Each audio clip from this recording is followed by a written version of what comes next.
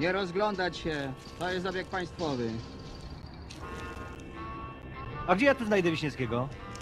A, u nas pracuje 300 Wiśniewskich. Trzeba będzie poszukać.